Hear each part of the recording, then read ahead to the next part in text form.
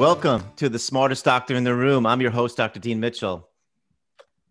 Uh, I've never been comfortable with the term anti aging. In fact, today it's a whole medical specialty. I don't think anybody is really capable of turning back your chronological age, but I do believe there are secrets to maintaining your vitality as we age. And if you've never heard the term sarcopenia and only osteopenia and osteoporosis, I believe you will surely learn something very important on today's podcast. I you know I remember when I was a 25 year old medical resident doing internal medicine training. One of my uh, lectures was by a famous orthopedist at the hospital, Dr. William Hamilton. He worked on a lot of the ballet dancers, and he was giving a lecture on back pain. But it was interesting because he opened the lecture quoting who I didn't know at the time, Bette Davis, the famous actress, saying, "Getting old ain't for sissies." And you know, again, I was 25 years old, and I was I thought it was sort of a curious way to begin the lecture and it didn't really mean a lot to me at 25 years old. But as I've aged, as I've taken care of patients that are elderly, I came to understand the meaning of that quote a lot better. Growing old can be painful, humbling, and at times a depressing experience, but maybe it doesn't have to be. I sometimes think about to the movie Cocoon, if uh, people remember that, where uh, somehow in the movie they figure out how people to stay vital, and, and you see the uh, some of the elderly geriatricians jumping cannonball style into a pool after they emerge from the cocoon. But life is not the movies. And my guest today, Dr. William Evans, has spent his career looking into how we can all remain vital as we age. His early work at Tufts University showed that even geriatric patients in their 80s can build muscles and cardiovascular endurance to improve the quality of their lives. And later, he worked with astronauts to show how all of us can reverse muscle wasting. His two books, which are you know really two of my favorites, I keep them close to me on my the shelves, are Astrofit, which was the astronaut program for anti-aging, and the other one was something that I first learned about Dr. Evans was called biomarkers. And this was actually in 1994 when I was at a conference with Dr. Dean Ornish. And uh, one of the speakers there was George Leonard, who was a very interesting guy, a martial arts expert and journalist and writer, and he said it was one of the best books that he had ever read, uh, read on staying healthy. So back then, I got a copy. So, with all of that intro, I'd like to welcome Dr. William Evans to the podcast.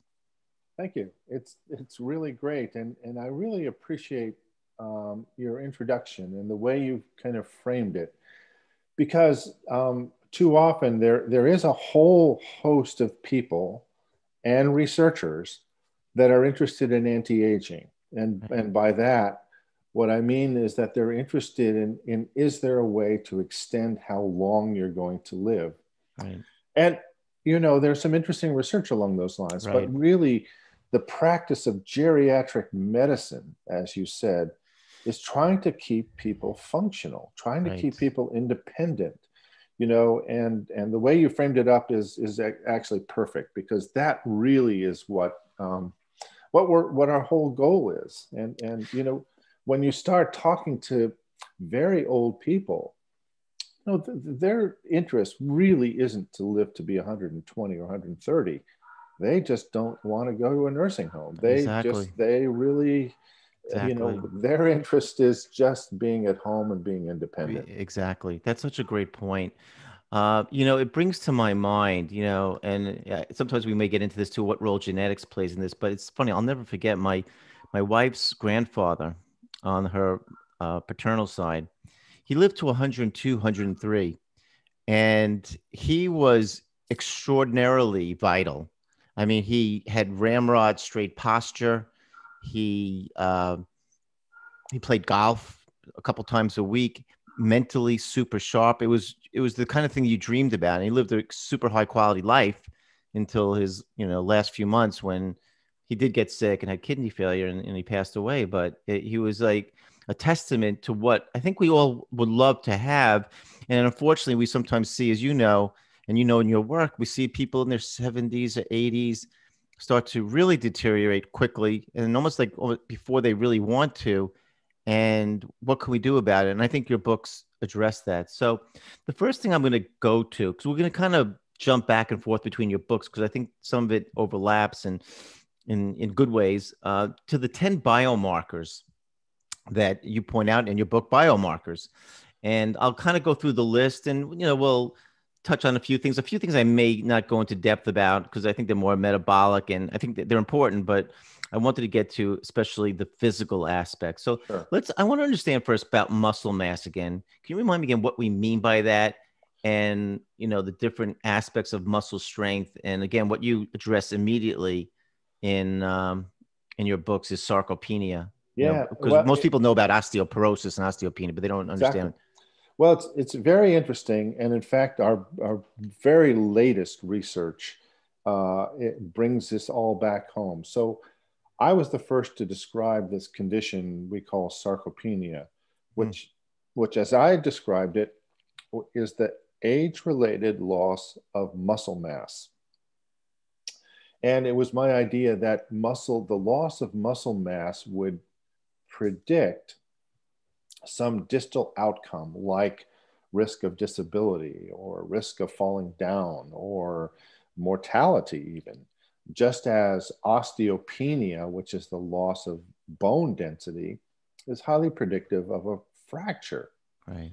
Now in the intervening years there have been a lot of research using what i think are inaccurate measurements of muscle. They use they measure lean mass and so the, the, the field has, has evolved such that lean mass is not that predictive of outcomes. And so there's been this um, idea that perhaps muscle isn't so important.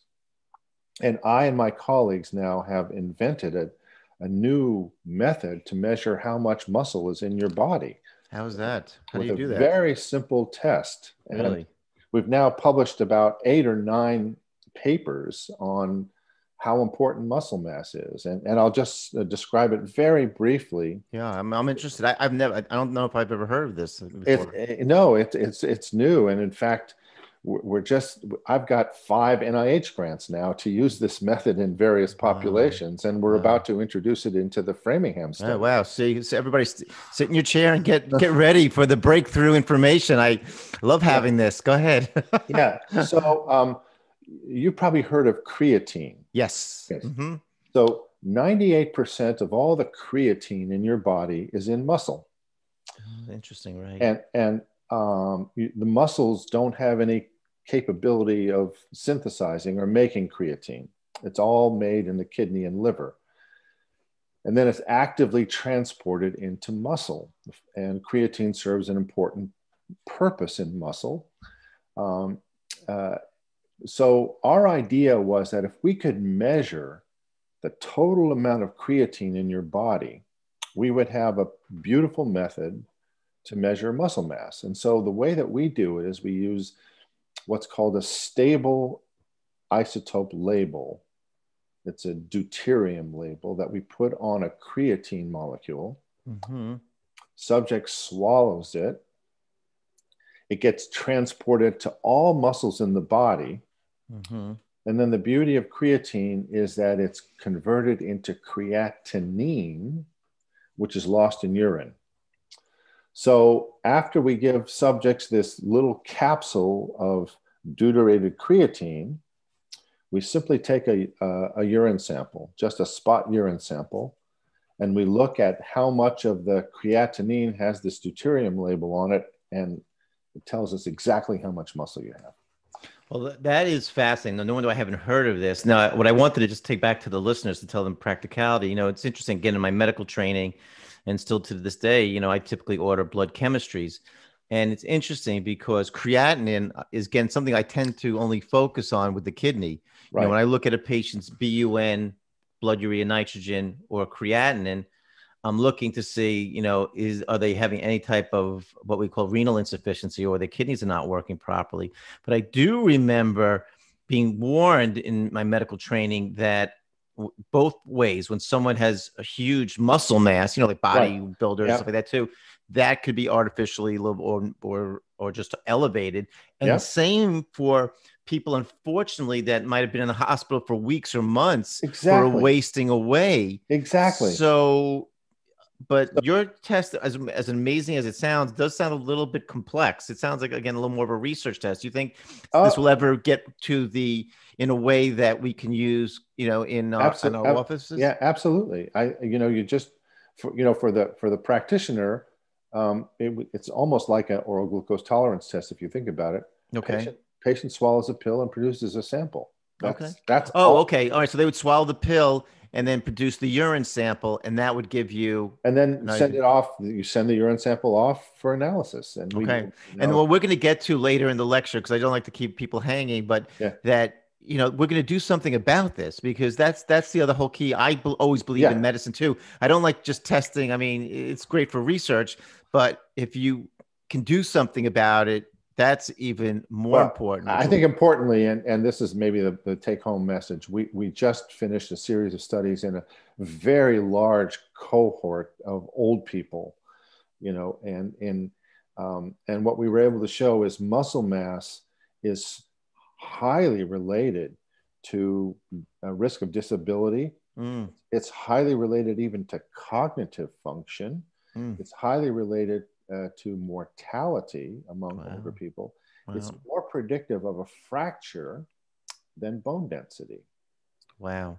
So, I believe that. And I think that's so important. And, and again, just to bring a little bit of correlation to the listeners, too, you know, again, in my clinical practice, I practiced 30 years. And besides being a practicing doctor, which I enjoy doing in immunology and holistic medicine, I'm sort of a student of medicine and I'm a student of people. And what I've noticed over my career, and I, t- I tell the patients these stories why it's so important to be physically active, that I, I used to really see, you know, that patients that had very physically active jobs, like one patient I'll never forget once he came in, he must have been 83 years old. And he just had very, you could tell, uh, you know, his muscle structure was very, very good. And so, you know, I'm taking care of him for whatever, you know, condition he came in. But I asked him, what was your, what's your job? You know, he had stopped working, but he used to work for the telephone company. He used to climb up the poles to fix the, you know, the wires. And, you know, uh, obviously not the easiest job in the world, but clearly having done being physically active like that for, you know, many years, he, he was in very good shape. Yeah. Well, you know, one of the very first studies that ever showed that was in um, is in London, and a famous investigator looked at the the, the men who escorted people up and down the two decker stairs mm. versus the drivers. Mm-hmm. And they found that the guys that were walking all the time, they lived significantly longer. Yeah.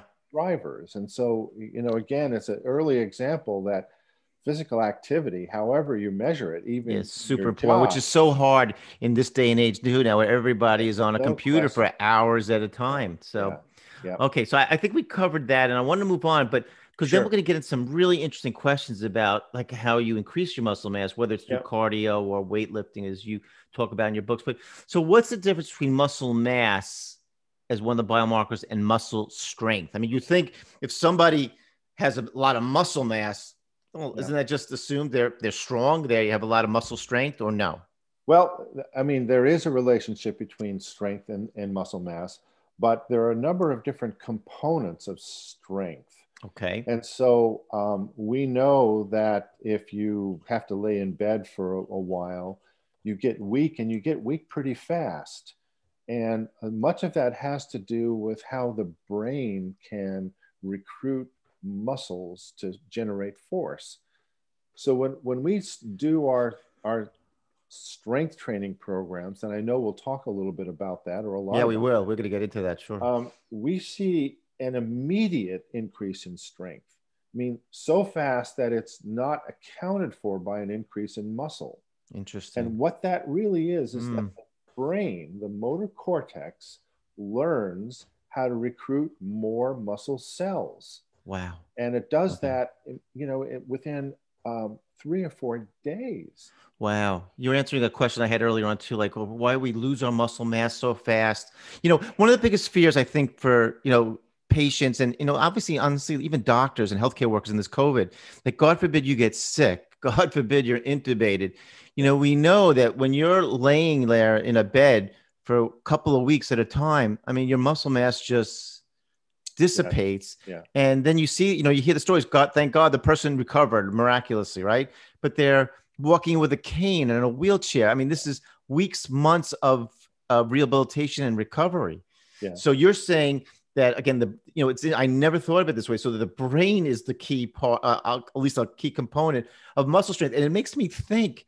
Are you telling me, Doctor Evans, too, that if God forbid somebody was had an injury or something, they're laying in bed for months and they really can't move the muscle or something, either through electrical stimulation or trying to almost even imagine like you're tensing the muscle. Can that help? Yes, there, there are data that would, would tell us that um, that even doing bedside um, activities and strength training will, Mhm. will, will have some some effect. Okay. And and you're right that you know we did a, a, a study funded by the National Institutes of Health. What we were interested in in how do old people respond to bed rest? We put uh, healthy old people to bed for 10 days Hmm. and, and found that in just 10 days, they lose more than a kilogram of muscle just from their legs. Wow. And that's 3 Mhm. times as much as we see with young people. You know, I have to, you know, every time you bring up something really interesting, I sometimes have to bring up these clinical things for patients.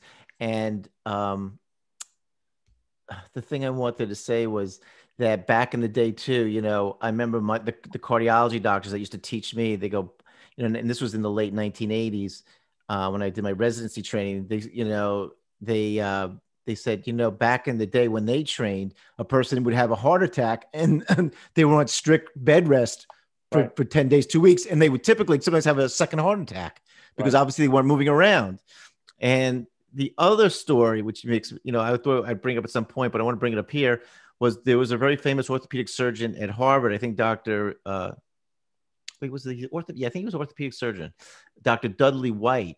Yes. And when he used to make bedside rounds, you know, and this was like really like in the 50s, I think he took care of Doc, uh, President uh, Eisenhower. But when he used to make bedside rounds and he had to decide on a surgical candidate, he'd be, you know, surrounded by his like 10 residents following him around.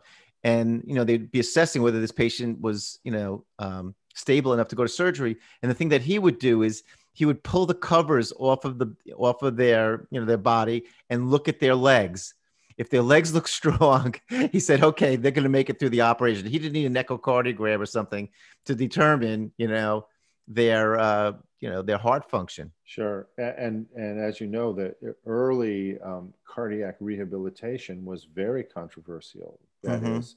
taking someone who's just had a heart attack and then putting them through a rigorous exercise program was thought to be, you know, potentially very dangerous. And Right. and and the, the father of cardiac rehabilitation, uh, his name was Herman Hellerstein, who's the Cleveland Clinic and uh, he was also one of Eisenhower's physicians and and uh, tried to get him up and moving around. Interesting. And we now Wow. know it, it is fundamental to, Yeah. to to how that. cardiac patients can function. Okay. So you're saying again too, so that the muscle strength, and, and we're going to get into how you increase that, and I assume muscle mass, but it's it's it's really more a combination of the brain muscle connection. Yeah, the strength. Yeah, strength uh, has many components. And I mean, can you be can you have a small muscle mass and be strong still? I mean, is that or, or like for example, if you're a, I mean, I'll give you an example. If you're a weightlifter or somebody, but you're 130 pounds, but you can lift a lot for your weight, you know, but you don't have a big muscle mass because a guy that's 240 pounds, you know, might have a lot of muscle mass and maybe he lifts the same or a little bit more than you. Is that is that uh, like well, there, there probably are, are a couple of different components to muscle strength. So when we do our strength training programs, Mhm. um, in the initial month and a half, most of the gains in strength are due to how the brain learns to recruit these these Mm. units, the muscle cells. Okay. That that plateaus after a Okay. while. And then the only way to get stronger is to get bigger muscles. And again, we can see that in our studies in older people. They, they, they continue to get stronger throughout the year, but in the first month or two, they get strong very, very rapidly. And that's due to this kind of brain uh, recruitment of, of, of muscle fibers. Well, you know, let's, let's talk about this now, the two, because I mean, it, it it probably makes sense. So, like, I, again, I remember reading in your work and stuff like that too. So, you were having these people, you know, lift weights. You know, you know, you see, let's say you see an 80 year old person in a nursing home, and they look very weak and frail, and you guys start coming in saying, okay, let's start lifting what two pound weights, three pound weights, four pound weights? They were lifting at 80% of their maximal capacity. That's the thing that we did that was really new that no mm-hmm. one else had had done before. Right. Is we use what's called high intensity strength training or resistance training. Okay. And and we knew that from from what young people had done and and what the research had shown is that in order to get stronger, you have to lift a weight that um, tires you out after only about eight or 10 lifts. That is, if you can lift a weight 20 times or 30 times, it's not going to make you stronger. Well, I want to ask you this. Uh, I'm sorry to interrupt because you know, I, and I pursued this through my career, um, even on myself, and I've got injured so many times, and I tend to always go even with light weights. It's like if you go too rapidly or you lift something too heavy, don't you know you tear sometimes the tendons and not necessarily the muscle. I mean, the muscle might get strong, but the tendon has to hold that muscle. How do you how do you avoid the injuries in these people that are kind of frail to begin with? Or well, well remember, um, the muscle is about as strong as the tendon. So in a frail person, as you said, you know, our, our oldest in our studies was 98 years old. Right.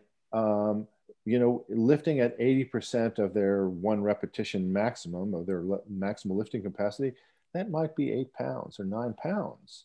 And, and, and, um, and, and that is not going to tear or rip their tendons. Okay. And the nature of what we did, also very important, was that it's progressive.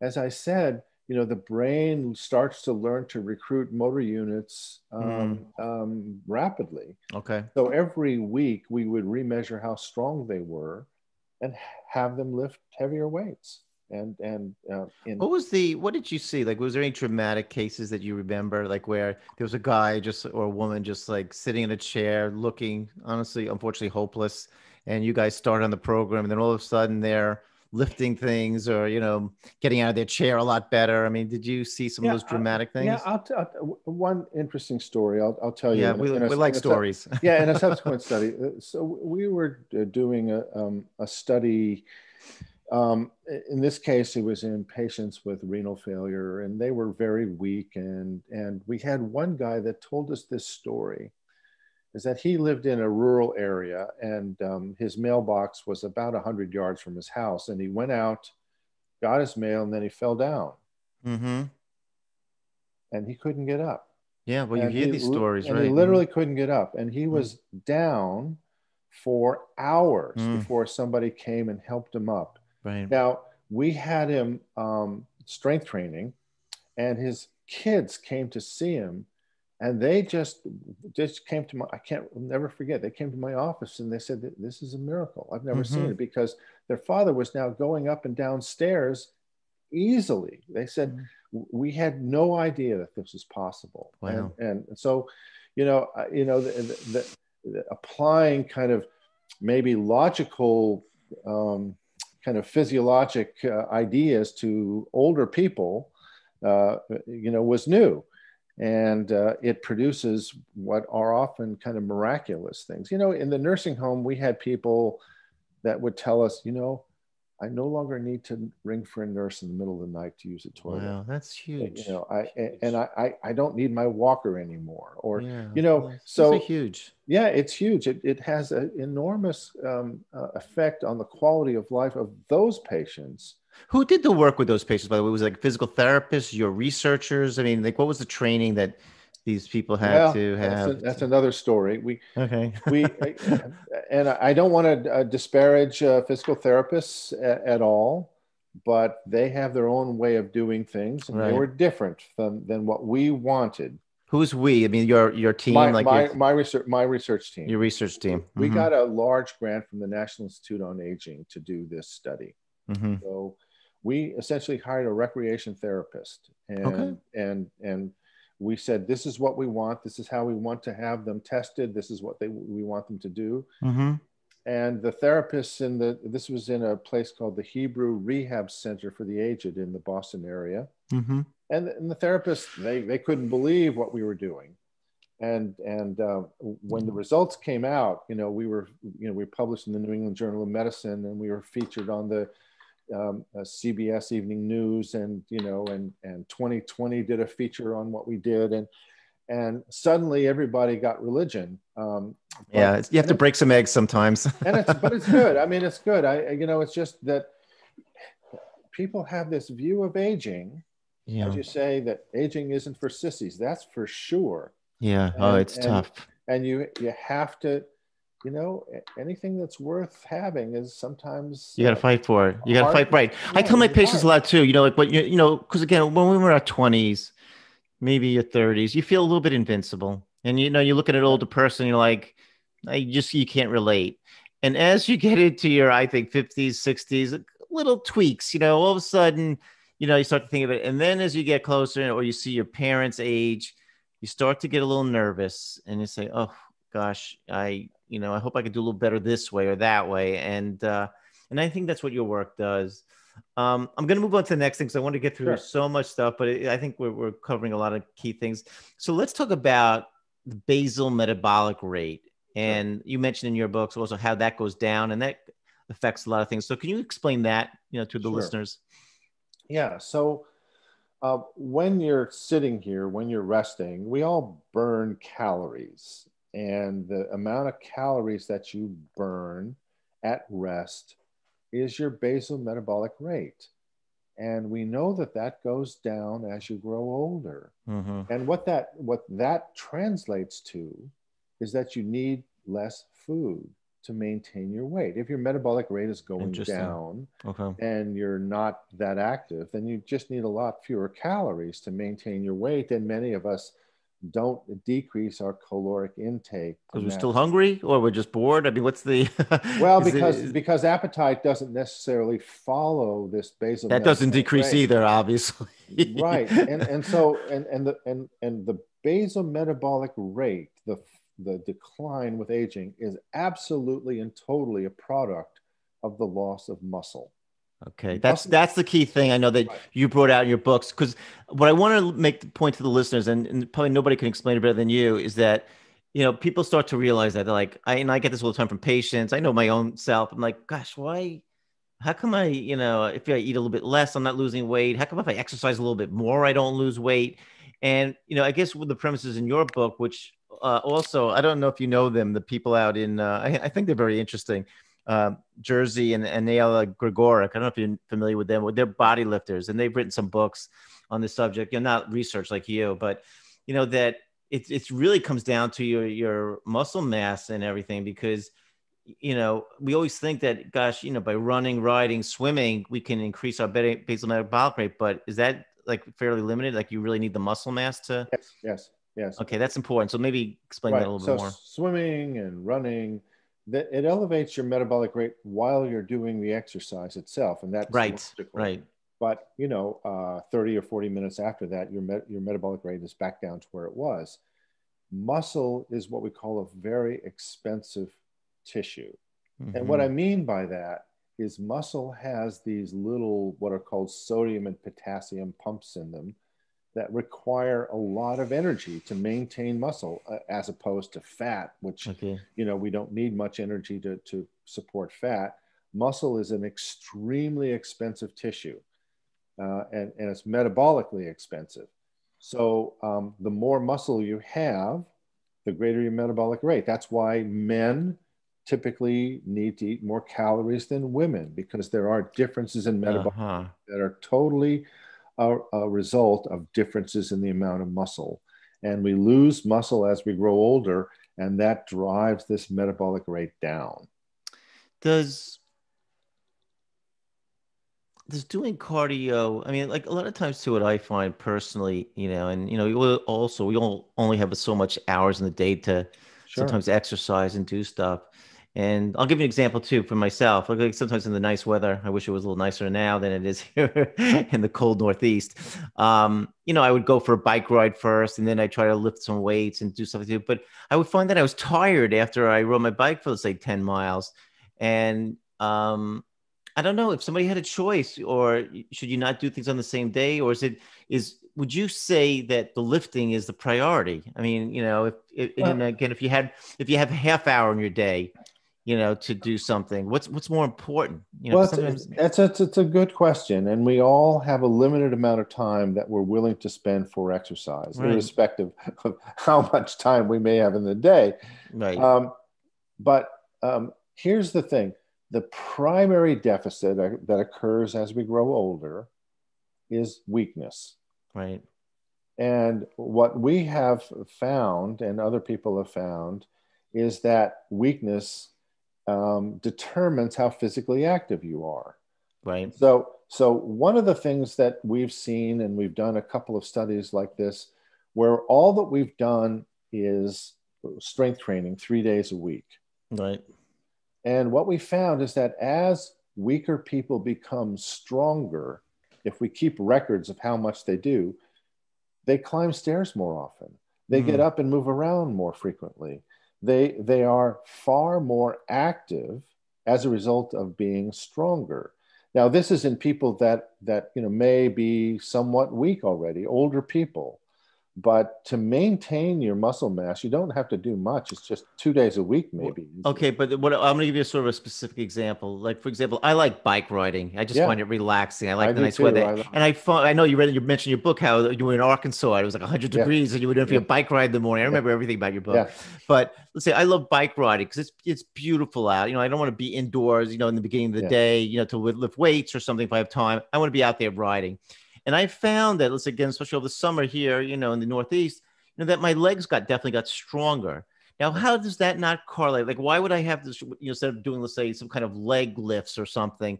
Why isn't, you know, and there are obviously cyclists who are an amazing condition who probably don't even lift weights because they can't handle the extra weight in their body, you know, because they're competitive. But, you know, and and also there are people that, you know, I see out in the streets where I live who are walkers. I mean, they get up in the morning, they like to go for a walk. It's re- it's mentally relaxing. Obviously, must have benefit, you know, again with their muscles and their, you know, and their uh, cardiac capacity. But are you saying don't shortchange the weightlifting for that? I mean, it's just too important.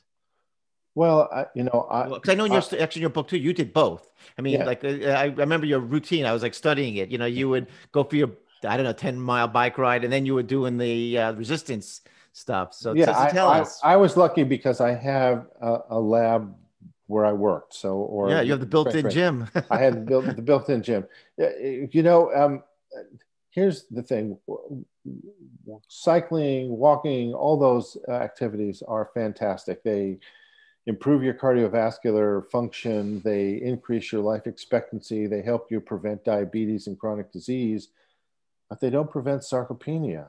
Okay. And you know, there. Oh, so been- don't. So even let's say, uh, even let's say, you know, people who do, wa- you know, do water workouts, like you know, with resistance, because it's not the same as weights, but it, you know, the, the- it's easier on their joints. I mean, the same thing Sure. with biking. You know, again, as we get older, our, your joints hurt. You know, and or you, you know, Sure, and the resistance, the resistance exercise that people can do in the pool because it is resistance exercise. yeah, I like. I do it. I really love um, it. Um, um, can in fact strengthen your muscles.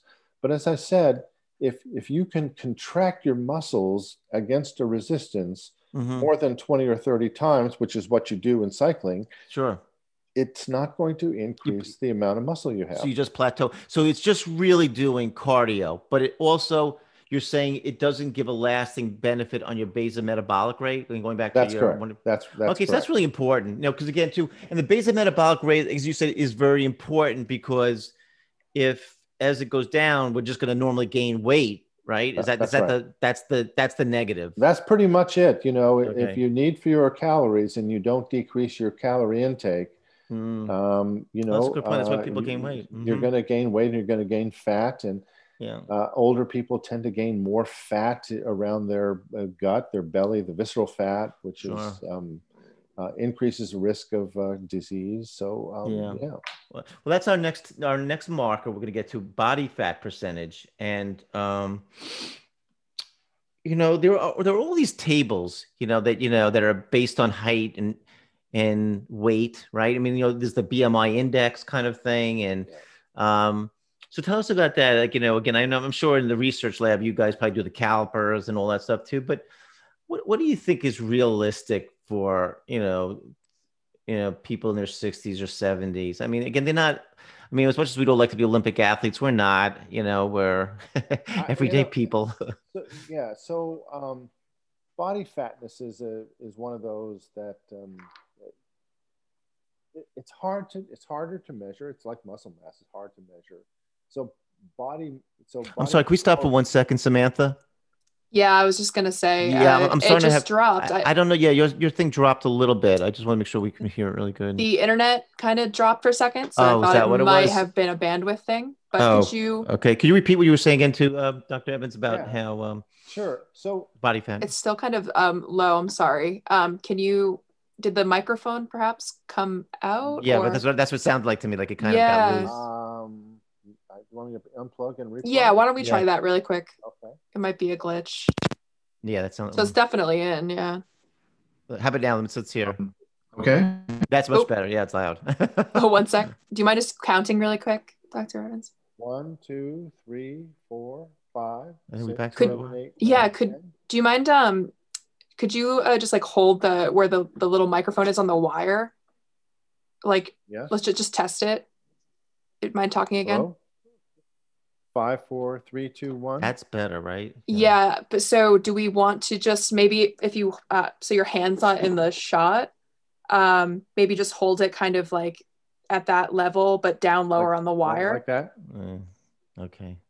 What do you think, uh That- Dr. I just don't want to stress you. yeah, I don't want you to be uncomfortable. That's the thing. Yeah. Yeah. So why don't No, you no, that- that's fine. because that's good. I can now. I'm hearing you much better. So is okay if that's okay with you, Dr. all right. Mitchell. well, Well, yeah, if he doesn't mind. Okay, that'd be super. thank you so all right, much. so we Dr. were talking about the All right. body fat, and uh, you were saying what would be Yeah, so- realistic for people in their 60s or 70s. I mean, what you know, what what should they really be So- trying to aim? Right. So, you know, so obesity is defined by body mass index, which is weight over height squared. Mhm. It's not a measurement of percent body fat, but it's okay. One of the things we do know, and this is an interesting one that has been controversial in the past, but older people um, that gain a little bit of weight uh, live longer. Right. That's So, right. That recently for- came out. That was that's the good news, everybody. Yeah. So, for, so for example, an ideal body mass index for someone in their 20s and 30s might be 25, hmm or 24 or 25. hmm For an older person, ideal body mass index is 27. So it's a significant increase. Okay. And there are maybe a lot of reasons for that that we won't have to go into. But one of the things we, we also know is that older people that are fat, that have a B body mass index maybe above 30 or 31, their body fat is hard to move around. And so it, it, it maybe imparts some degree of risk for disease, but it's hard to move around.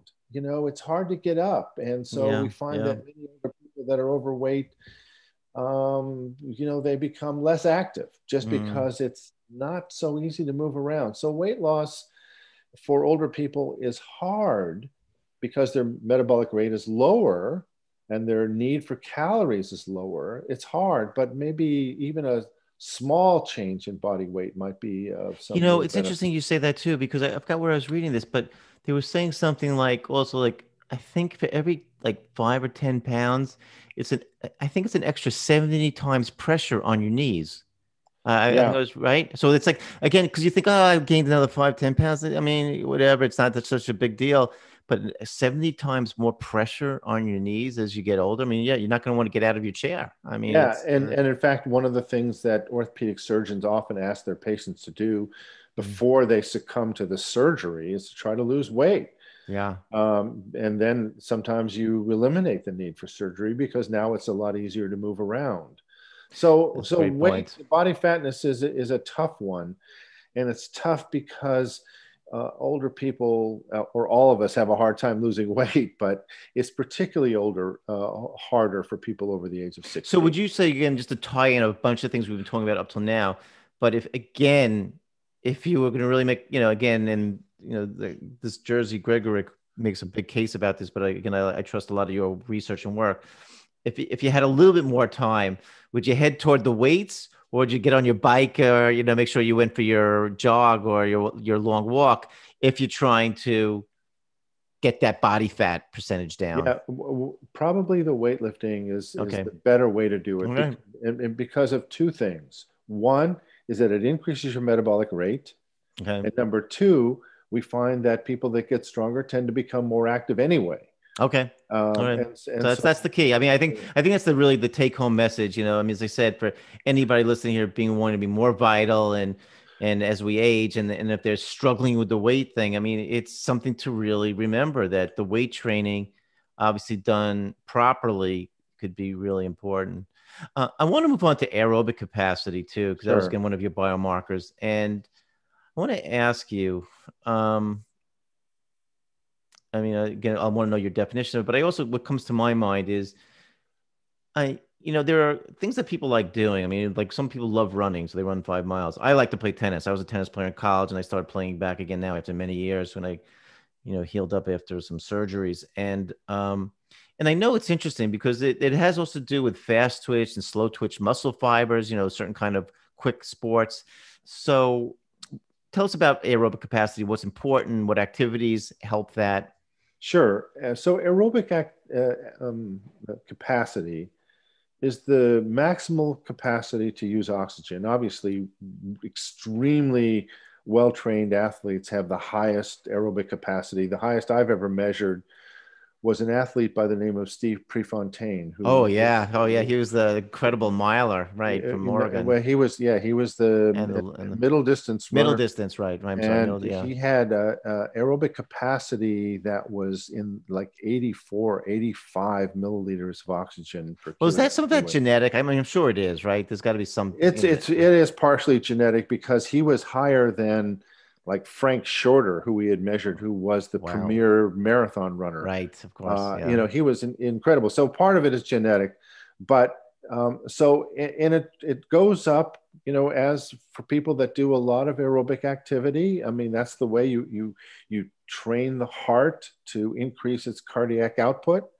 Uh, muscle itself becomes more oxidative, and by that it means, I mean, it, it uses um, oxygen far more efficiently. And so all of those things are good. And, and aerobic capacity is also associated with decreased risk of disease.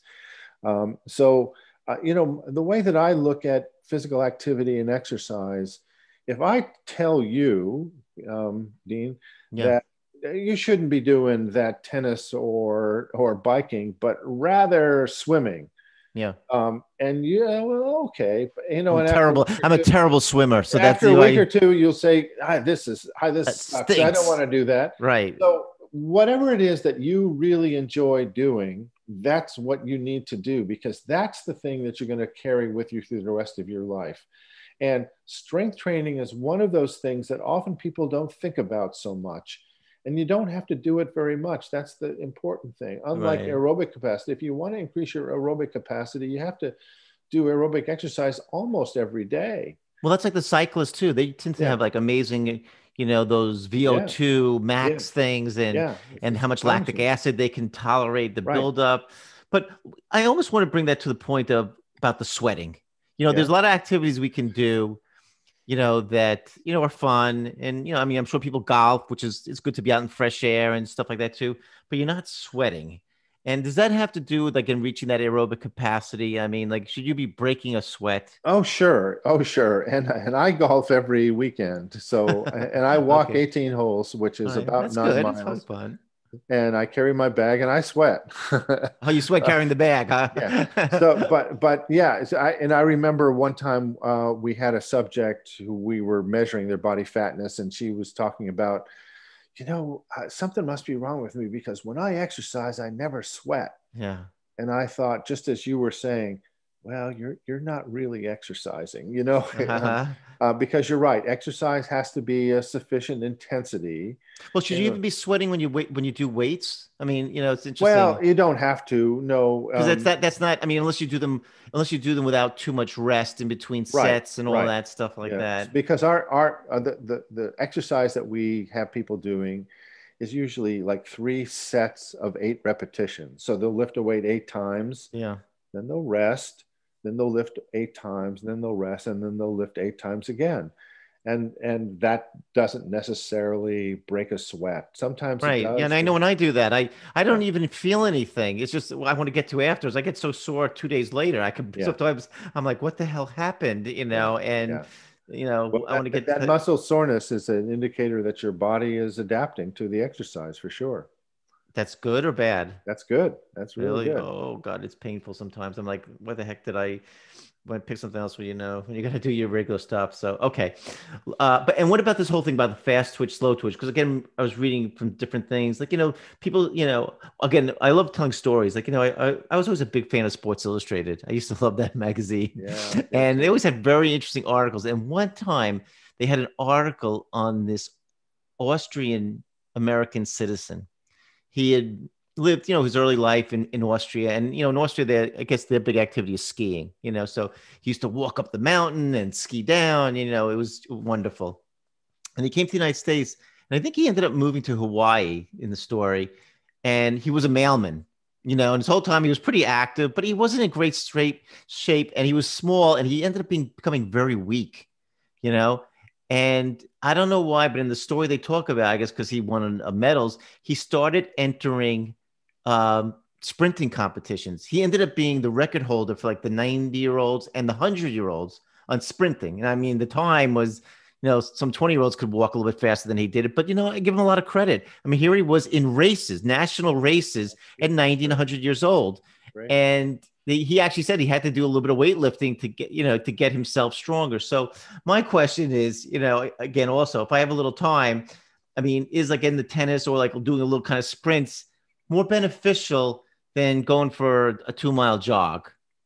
Well, it depends on what your goal is. It, it all depends on what your goal is. It- you know, if your goal is to goal is to feel good, have fun, and uh, stay healthy. then, then you know the sprinting. You don't have to do the sprinting if you don't want. Well, I mean, I, I think it's fun if you. I mean, is it? But is there a value to that? I mean, because again, you're It- trying to. Because they say you can't change your fast twitch and, and slow twitch, no, right? I mean, is that no? No, you can't. But but here's the thing. you can't or you can? You cannot. Oh, Um, okay. There is there is an age-related loss in the type two or fast twitch fibers. yeah, Tend to go down and right. It makes sense. You know, to maintain your slow fibers because those are the ones you use all day long. right.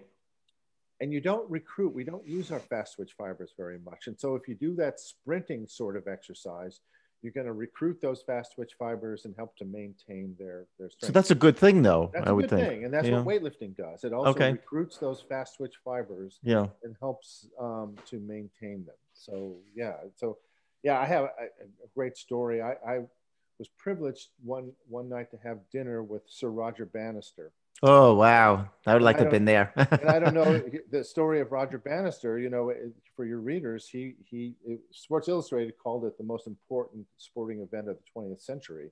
Wow. It was breaking the four. Yeah, breaking the four minute mile. Yeah, after he had uh, done a, he was like working at the hospital. He kind of came Yeah. over after and uh, he was a he was a he was a physician, Medical student? and, Yeah, and, uh-huh. and he didn't have time right, to do the kind of long distance training. right. and he had heard about this new type of training in Sweden, uh, high intensity interval training. Oh, HIIT right. That's what- now it's called HIIT. yeah, it's all famous, that- right? But but it was called fartlek training in Sweden. And he Okay, started doing it, and he was able to push his aerobic capacity up rapidly rather than having to do this long, slow distance training, and, Hmm. and uh, was able to break the four minute mile. And it was funny. He said he used to send a medal to anybody else who would break the four minute mile after him. And he said until high school students started doing it, and couldn't do it anymore. wow, fascinating. That is interesting. Um, okay, you know, I want to move on. I know there's a couple of the markers, but I, I don't really want to get into them here about the blood sugar tolerance, cholesterol, blood pressure. These are things that we do know about, and Sure. you know people realize they're important and obviously bone density you mentioned i mean people are so concerned about it but i, I thought it was so important in your work and your books you know, about how the sarcopenia is can really be the, the, the more deadlier thing but i want to ask you one last thing on the on the biomarkers before i go into some other issues the ability to regulate your internal body temperature why is this important and how, how do you know whether you're not regulating your body temperature correctly Well, one of the things we know is that when a heat wave moves through a big city, it's the old people that die. oh, that's a good point And, and, yeah and there are a couple of reasons for that.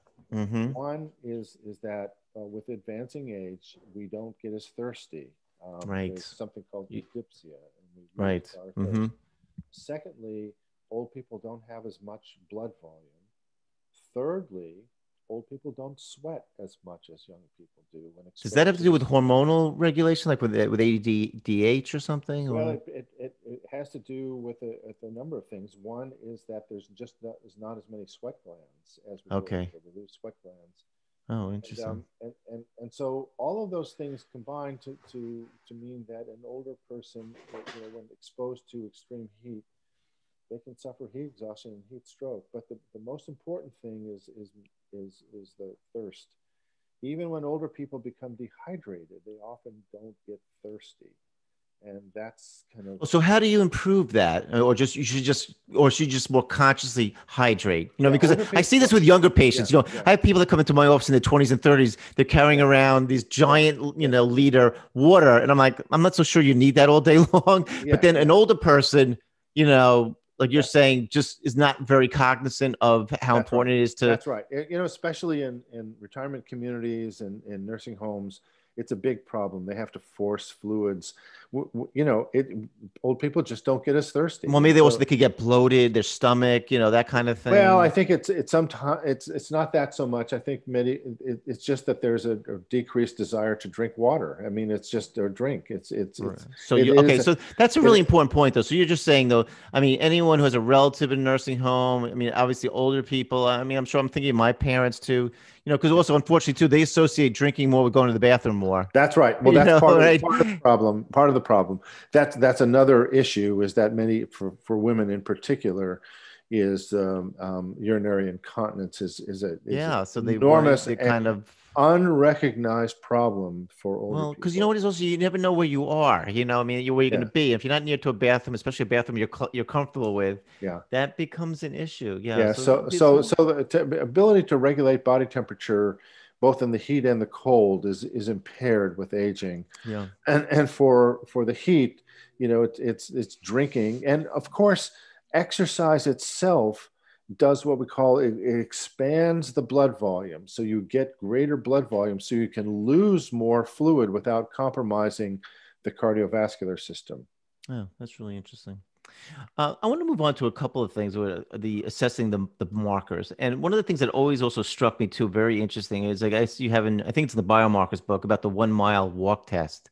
And I yeah. used to think like, oh, like what is this? You know? And then I realized, like again, I've, I've got the amounts, but if you can't walk a mile like in 10 or 12 minutes, you got a problem. And I realized that because you know, when unfortunately when you're seeing older people with canes and this and that too, the fact that they're they have some type of limitation, they obviously couldn't walk a mile in 10 minutes, 12 minutes.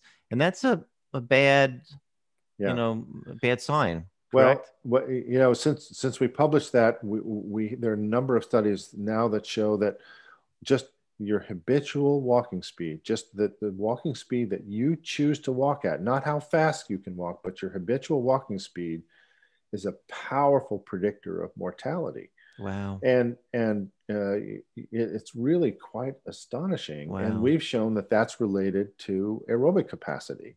Right. So that as you lose this aerobic capacity, just getting up and moving around becomes a higher and higher percentage of your max. And we, we showed that in, in people that walk very slowly, um, even at 0.8 meters per second, they're walking at 90% of their aerobic capacity. That's what world class marathon runners are running at the end of the race. Mm. So they become exhausted. So they choose not to walk and they become more exhausted still. So you're right, walking ability is, is a big deal. And, and in fact, uh, for many geriatricians, they think that that's a, that's a vital sign, maybe more important than blood pressure in predicting mm. um, a risk. Okay. Uh, just to go back to ask you again too, because I know we're, we're kind of kind of nearing the end, and I, uh, you have another engagement, but I just have so many interesting questions to ask you. Um, about the injuries, and, and, and, is there have, have you come across anything about how to decrease getting injured? Even though, I mean, again, if you do proper technique, you know, again, a lot of us too, you know, every, you know, unfortunately, injuries always hit at your weak point. If you know, sometimes you could be lifting. I know myself too. I could be lifting my arms, my shoulder. Also, my neck tightens up. You know, and maybe again, it has to do with other factors but uh, that and like the delayed onset, you know, pain, which you know, soreness, which uh, tends to make you know inhibit people a bit? Are you saying we just have to live with that? I mean, Well, just realize the- that's a good thing, or Sure. well, the delayed on if you if you're doing if you're starting an exercise program, the delayed onset soreness is a result of some microscopic damage Tears, that yeah. you do to your muscle. It repairs and gets stronger. right? And if you keep doing that exercises, you don't get uh, sore anymore. But the, the orthopedic ones, those are the tougher ones. And, and you're right. Some people, you know, do everything right and, and then they get tennis elbow or they yeah, get right. They, they're like, I can't lift this. Right. You know, they, And- whatever and- they and tweak it- the right. and, mhm. and I mean, and it, I, I, I think it's hard. And we try to tell people that's fine, let it rest. Um, when you exercise, it shouldn't hurt. right. And so if it hurts, don't do it. Just exercise the other joints that you know that you can. Okay. Move to a different activity. But you're right. eh, The orthopedic ones take a while. And, and Should they? Should you? You know, again, if you're lifting not such heavy weights, can you do it every day? Should you always take a day or two rest? Yeah, if you're doing weightlifting to get stronger, Yes. again, this is the, the if that's the goal, Right. then you should do it probably no more than three days a week. Because you want that recovery of the muscles. I You mean, want the recovery. The even if it's recovery light in the beginning, whatever. Too. Just you know, there's no Yeah. point. You know, get Right. into the rhythm, get into Right. the get the brain activity Right, going. Exactly. Do Okay. your, your other activities are important, but the weightlifting, you don't need to do it more than three days a week. And if you Mhm. start doing it more, then you become a little obsessed Mhm. and you might get some overuse injuries. Let me ask you too, as we're winding down a little bit too. Again, I, I might have mentioned this earlier, but just again, cardio before weights, weights before cardio. Does it matter? Well, Um, if you had to choose cardio before weights, because what cardio Warms you up. does, it warms up your body, makes Okay, joints a little more flexible. right. That's what I feel. I feel like I'm just Less I'm a little more energetic. Right. You're less prone to injury. All of Okay. those things are good. Yeah. Right, so that's a good thing. And what about also to you know again our society is so uh obsessed with you know the the six pack I don't know the two pack. Yeah, I'd be just glad to have flat abs. You know, um, how important is the core? You know, is it you know is it because you know again you look at I I've had a lot of people that I you know I respect saying you know sit ups aren't the best thing for you. It can hurt your back. A lot of now they're talking about doing the planks and and I, I would assume a lot of other activities you're you're using your core. Like I know like when I serve in tennis, you know, again, you know, you're using your core. Yeah. how important is that, you know, versus other muscles like your leg muscles? Sure. The leg muscles maybe are the most important because they're associated with mo- your mobility, Okay. obviously. But but core is also important because it helps keep you erect. It's kind of the way you move around through the world. And so there are some, you know, lower intensity core exercises you can do. Sit-ups probably aren't the best, but uh, lying on your stomach and trying to extend your back, that's that's. Oh yeah, like the, the cobra, right? You have that in your the book. Mhm. Yeah. So Okay, so I'm, I know that you're going to have to run it, and this was a tremendous, this was a huge, you know, privilege and honor for me because they said I've been a fan of yours since 1994 or five, uh, and I strongly recommend any of the listeners to get his books. They're still available. I've gotten them on Amazon. Astrofit, I, I keep in my office. I show patients because I think the way you diagram the the whole routine, the exercises, how to do them properly and safely. I think pretty much anybody can follow, and I'm sure if they were with a physical therapist or a trainer, you know, they could achieve to do this, and the benefits are beyond important. So, th- Dr. William you. Evans, I want to thank you. Well, this has been a great discussion. Anytime, Dean. All right. I, ho- I hope again too. Maybe we'll come back to finish up some more, and uh, please uh, keep me informed on your work because I am, you know, I'm a fan and a participant. Okay, great. All right. Take care of yourself. Thanks.